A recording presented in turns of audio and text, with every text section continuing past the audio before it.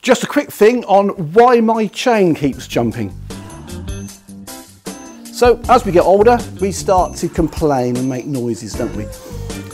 Uh, or is that just me? Great. Okay, so you're cycling along you're going, you're, skipping on the on the cogs or whatever. It's probably because your chain's stretched and it's worn the cassette or the crankset. This is the cassette here, and this is your crankset. The chain stretches, it no longer fits inside these teeth very well, so it wears them a little bit, they get wider. So we're going to replace the bottom bracket and we're going to replace the front crankset because that's worn and it's not holding the chain very well.